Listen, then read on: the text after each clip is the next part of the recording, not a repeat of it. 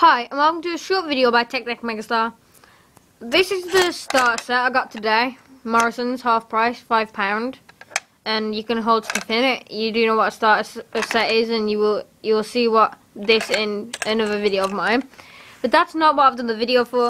Today I've done the video because on my Tech Deck collection part 2 or part 1 I said whenever I get new Tech Decks I'll be sure to show them. Well these two Tech Decks, they're both D, um, DGK and they both come free with that Tech Deck starter set. And I'm just going to show them you.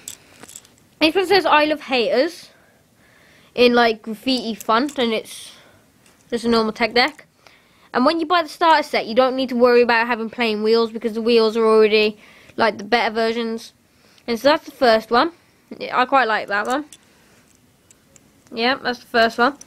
And the second one is, this is my favourite one. I am DGK dirty ghetto kids. Hmm. It's quite boring, but I quite like it. And there is a Plan B one, T-Puds, and it does look just like that.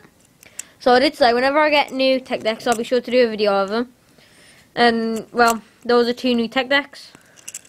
And that was another episode by Tech Deck Megastar. And, thanks for watching.